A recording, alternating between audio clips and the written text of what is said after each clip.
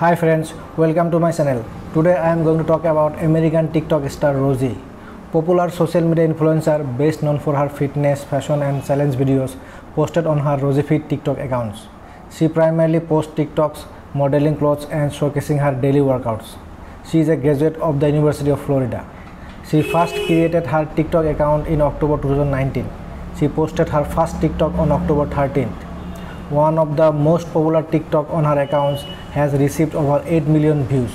In that TikTok, she used the tags hashtag dancer, hashtag dancing, hashtag TikTok dance and hashtag FYP while dancing to the Taffy remix song by the former rap group D4L.